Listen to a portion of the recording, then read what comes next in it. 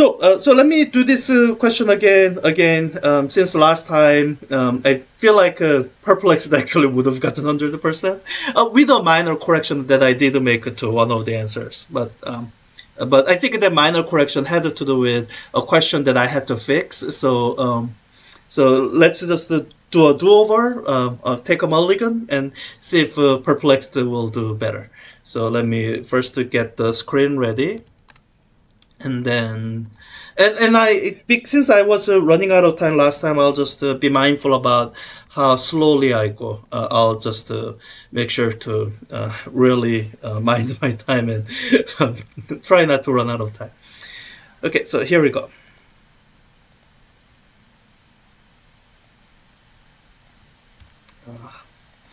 I'm gonna have to type in a few things. Also, know has have the same mess and. Oh, this was a difficult question, I think. I remember getting confused myself about this a couple times. I'm pretty sure question version is correct because I've corrected it, but um, it was a difficult question. I'll just leave that there. Um,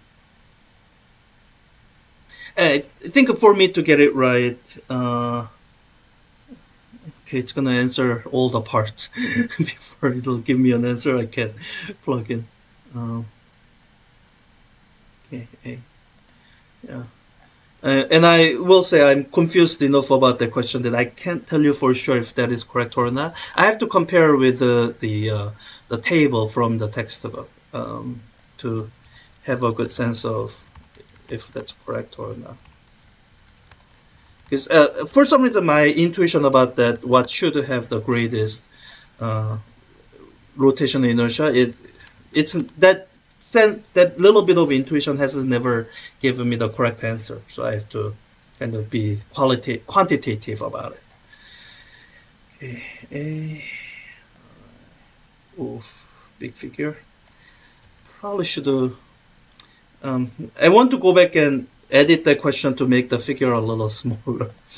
oh, anyways, I think in terms of copying it's fine. Uh,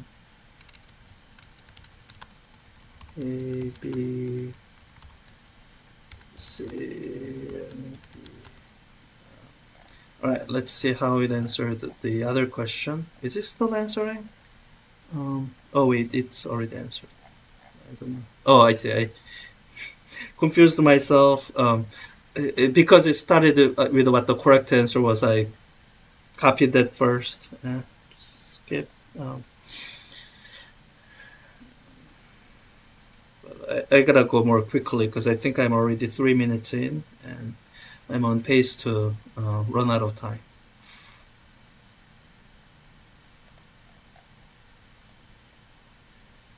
That's gonna take some work to copy of uh, up at about 10 to the 11 meters from the sun, uh, 5 times 10 to the 4 meter per second. Laplacian comet is 5 times 10 to the 12 uh, meters from the sun.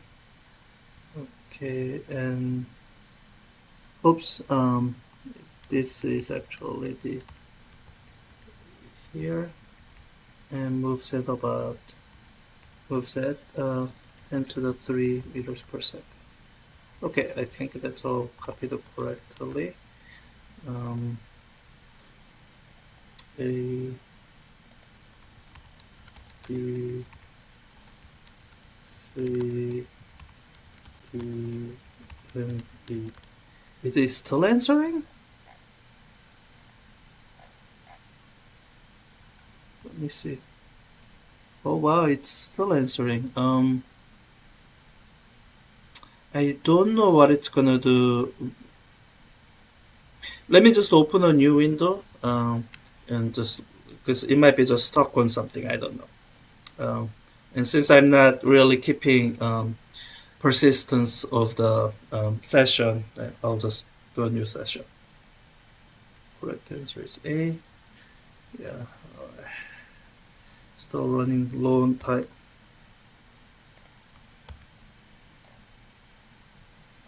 Okay. Looks good.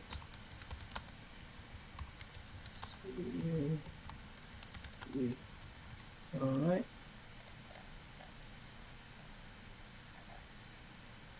Okay, it's done answering now. Next question.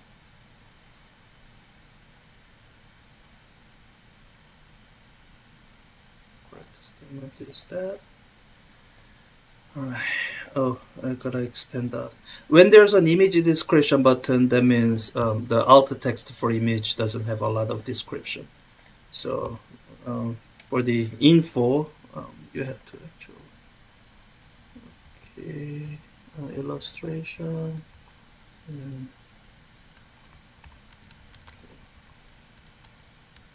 B, C, D, E.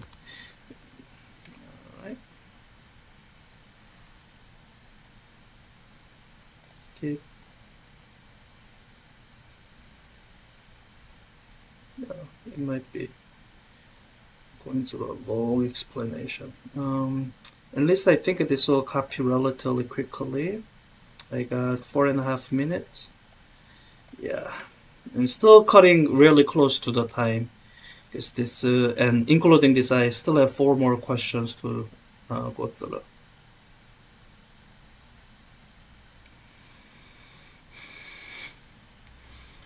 Um, you can just use uh, conservation of angular momentum. You don't have to use conservation of energy. Um, although I guess it is using conservation of angular momentum. So, um,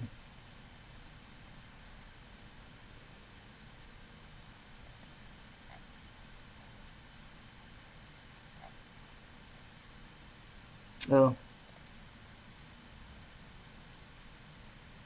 What? It doesn't? Uh, 2.97.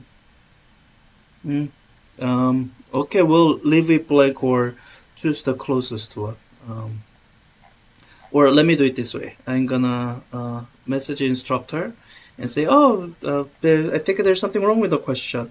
I doubt it. I'm pretty sure ChatGPT made a mistake, but let me, um, you know, do the thing that that I think a cheating student might do.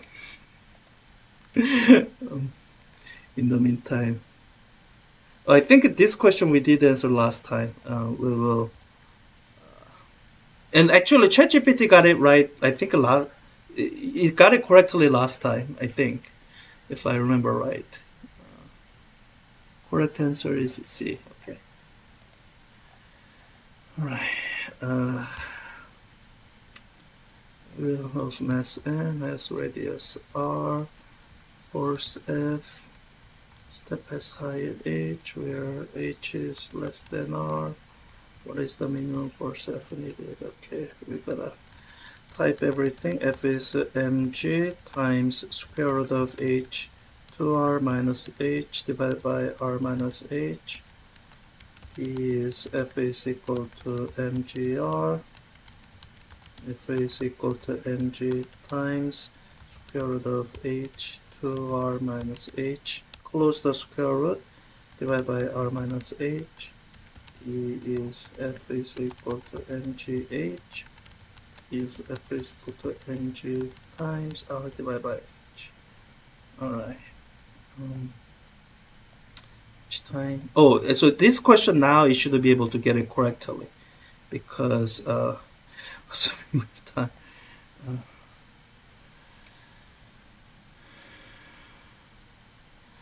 let me just start copying this now. Because um, there's a bunch of stuff. So it doesn't actually need a constant so I'll um, skip that. Approximately 80 times 10 to the 3 kilometer. Approximately 40 times 10 to the 3 kilometer. Approximately 600 times 10 to the 3 kilometer the approximately 6 times 10 to the 3 kilometer e. Okay, uh, what did I answer?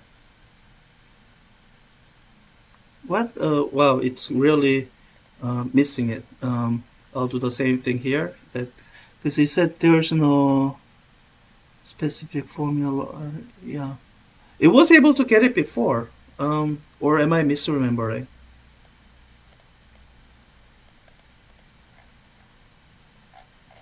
Okay, well, let me make sure I have enough time. 36 seconds, not enough time. Answer is B. Yeah, that's correct.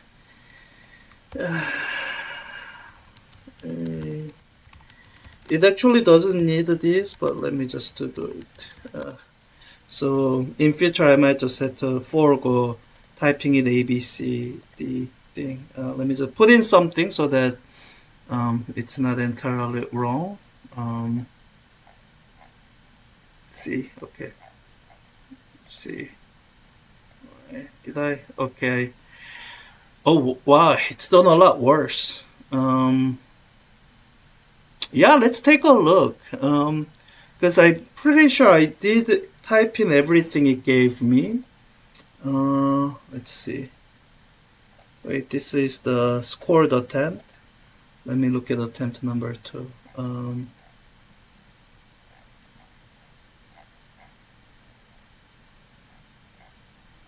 yeah, I did put in everything it gave me.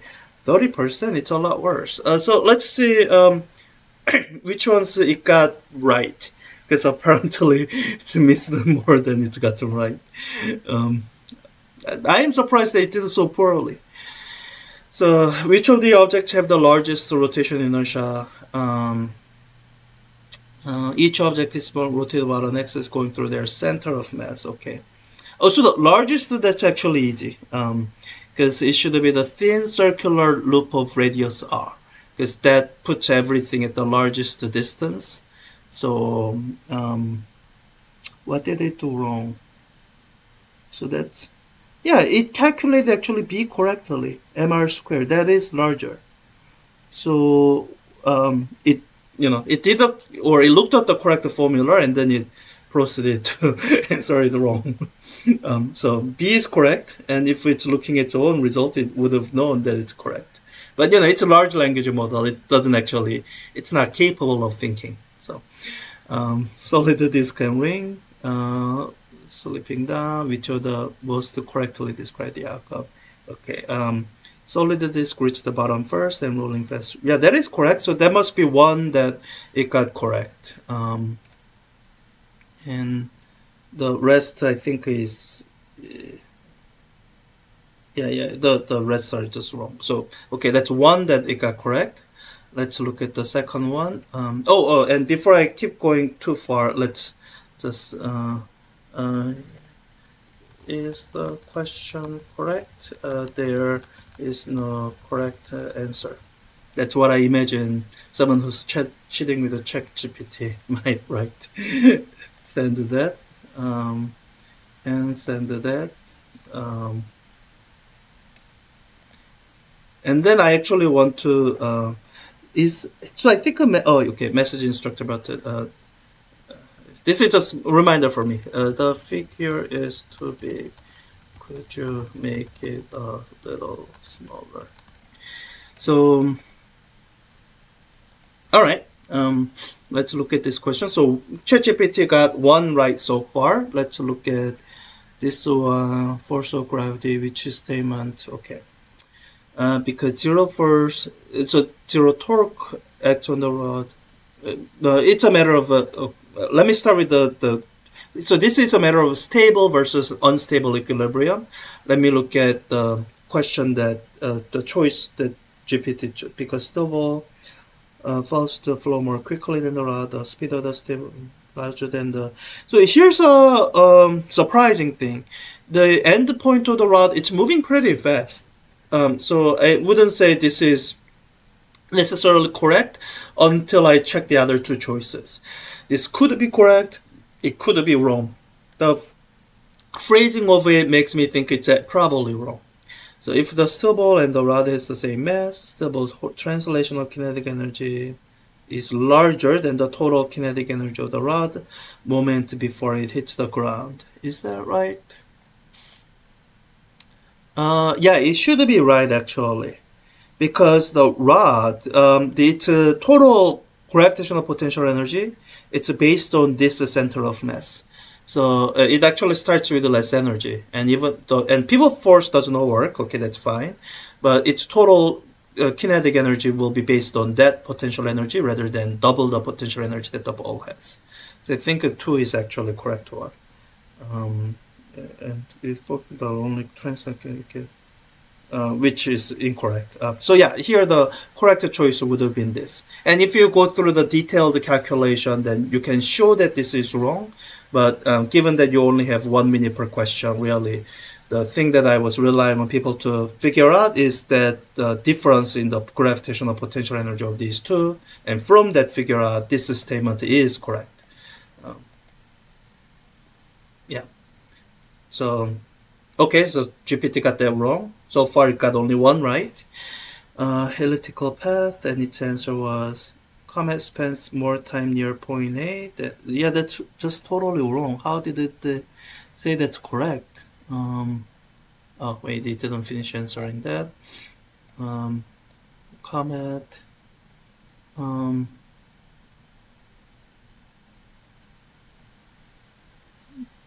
yeah, it's less time. Um, I mean, Kepler's second law is the right law to cite, but uh, farther move slower at aphelion, yeah. Yeah, yeah, near point B than near point A. So, um, so if this were swapped, it would be correct, but um, it, so okay, so let me find the correct choice first and see how GPT reasoned that throw wrong. radius curvature at point A. So this is actually correct. The radius of curvature here and here is the same. And uh, you, the reasoning through that is instructive. I recommend that you try it. Uh, it's based on you know circular motion, uh, v squared over r. So the r is different, but v squared is also different, and you can prove with uh, I think conservation of energy and or angular momentum um, that yeah the curvature here is the same as curvature here even though the acceleration is different. So um, curvature of elliptical yeah so here it misunderstood you know a and b uh, those comparing those two points their curvatures are the same. At other points sure yeah curvature is changing so uh, okay got that wrong. It should have been b not a. Um, 5 let's see if we got it right. Uh, if bicycle is heavier it'll precess. Oh wow it got it wrong. Um, so this is the kind of common trick question because uh, people uh, want to kind of default into thinking larger angular momentum faster movement and it's actually the other way around. Let's see how GPT argued that uh, is then uh, is is given by so if we knows the equation that it knows if i is greater then although if mass is oh it precesses at the same speed i think.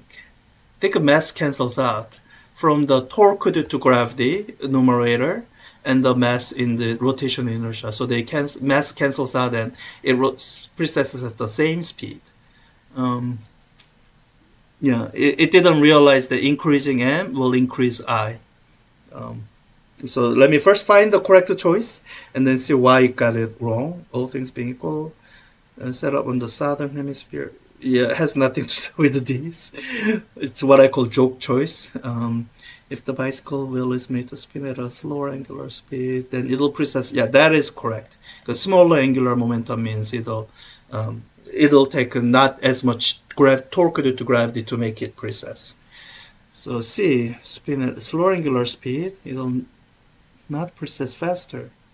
If angular frequency omega decreases, no. Um, so like looking at the formula, if you look at this formula, if omega decreases, the you know the rotational angular velocity decreases, then the the rotational frequency of angular frequency of precession will increase. You can kind of see from there.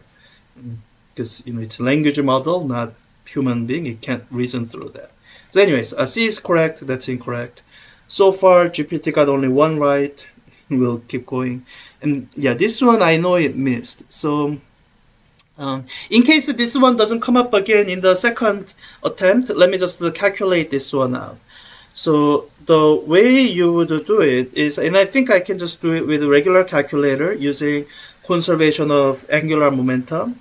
So from conservation of angular momentum, what it ends up being is the product. This times the perpendicular velocity, they are constant. So I can say um, the RP times the VP is equal to RA times VA. And we are given its apogee speed. Um, okay, we need uh, perigee speed. So um, I gotta write this up. Uh, I can try to do it in my head, but there's a chance I'll miss it and it'll be embarrassing if I miss it. So, so, um, so RP VP is equal to RA VA. So perigee speed is this. And there's a slight correction you need to make. Uh, because you are given the, the altitudes, not the uh, altitudes, not the actual distance from the center of Earth. So wherever you see RA, you have to do um, the Earth radius, 6370, plus the apogee height, uh, 3000. And for perigee, same thing, 6370 plus the perigee height. So I think ChatGPT might have mixed up apogee and perigee. Maybe that's why it got a smaller number for perigee speed. So um, let me do this. Uh, 6370 plus 3000 divided by 6370 plus 400 times the apogee speed gives me 8.26 so it would be D that's correct and the ChatGPT it must have gotten it wrong um, it is correct wait it has correct the formula but it subtracted the height instead of adding and um, it, here it added it. Okay, okay. It didn't mix up apogee and perigee. It made a math error here for some weird reason. Um, I don't know why computer would make math error like that. But anyways, um, yeah. So so far got only one right. Let's see if uh, we can find the other two in the remaining four questions. Uh, consider a tall box with uh, increasing incline angle, additional forces provide no there are no additional forces so that's wrong um, with the increasing incline angle um, so clockwise torque due to gravity yeah that is correct so gravity um, that has lever arm it's providing clockwise torque as you increase the angle that, that uh, lever arm is decreasing so gravity is pro at some point providing zero clockwise torque, and then it's providing negative clockwise torque or counterclockwise torque. So it should have been A. Um, yeah. Yeah, B is not it. C or D is not it. Yeah, yeah, I don't know why it didn't get A right. Uh, I guess it didn't give a reasoning for why A isn't. Yeah must been guessing. Um, so this question, I think uh, we've done it before, um, and the explanation I gave for choosing uh, C was based on dimensional analysis. That um, so you can actually using dimensional analysis, you can uh, rule out, you know, without doing any explicit calculation, you should be able to rule out all but two choices. Let me uh, double check. So I'm just working at the units on the right hand side mg will give me newton and this here I get uh, you know one unit of meters cancel out so I get square root of meter here I get newton times meter here I get just newton and here the units cancel out because the meter squared the square root divided by meter and then here again newton times meter uh, and here I again have newton meter over meter cancels out so you are down to choosing between these two expressions. And um, once you get this far, then one kind of um, another technique other than checking units that can help you is checking um, kind of the limits. So in the limit, h is either very small or h is very large. How does this expression behave? And uh, uh let me just think through h is very small first. If h is very small, then I want this force to go to zero based on my intuitive feeling. And um, here, I don't get that. It, as h goes to zero, um, the required force will go to infinity. So that cannot possibly be right. So I would uh, go to C based on process of elimination. And here I think if you think through H going to zero, that'll actually, so you know, denominator goes to some constant value, numerator goes to zero, so required first will go to zero. So that's the way I intended for people to be able to answer a question like this within one minute. Because if you're drawing free body diagram and actually working it out in detail, then yeah, you're gonna run out of time. Um, so see. Okay, so GPT must have gotten the next two questions right. That's the only way it could have gotten 30% right. Um, yeah, so it got this one right. Question is fixed. if you just simply look up geosynchronous orbit, 40,000 kilometers is what you would get and um, and you know that's the correct answer 40,000 kilometers approximately yeah it knows how to round once the question is correct uh, let me look at question 10 um, gravitational force between earth and apple incorrect statement gravitational yeah acceleration is not the same their forces are the same newton's third law and because of newton's second law the acceleration uh, of the apple is greater smaller mass okay so that's uh, ChatGPT um, second time a lot worse than first time. Um, I don't know quite why, but that's a um, that is really striking difference.